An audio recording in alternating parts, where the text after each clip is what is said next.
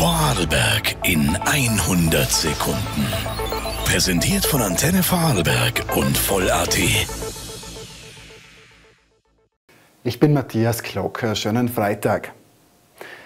Kinder im Sommer nie alleine im Auto lassen, auch nicht nur für kurze Zeit, warnen heute Verkehrsexperten.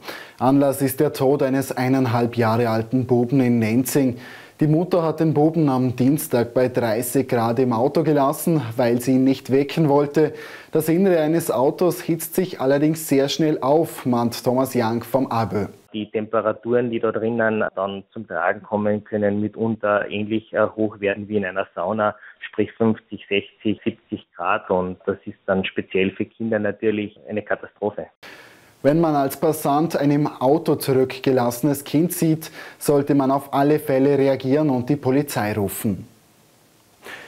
Die Tore, die man nicht schießt, die kriegt man. Diese alte Fußballerweisheit hat sich am Abend bestätigt.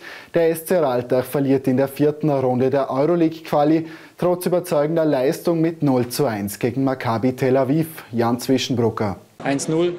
Ist noch nicht allzu viel passiert. Das Spiel hat gezeigt, dass wir auf jeden Fall ebenbürtig sind und im Rückspiel werden wir nochmal alles reinlegen. Das Rückspiel gibt es nächste Woche Donnerstag in Israel. Einem 14-Jährigen ist gestern in Hittisau bei Holzarbeiten sein rechter Arm im Bereich des Oberarms abgetrennt worden. Der Bursche war von der rotierenden Zapfwelle eines Traktors erwischt worden.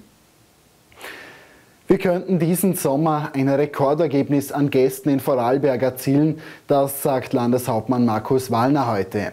Die Gästezahlen vom Vorjahr im Mai und Juni wurden bereits deutlich übertroffen.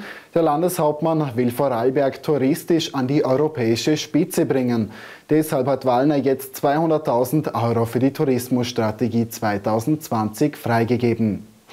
Vielen Dank fürs Zusehen und ein schönes Wochenende.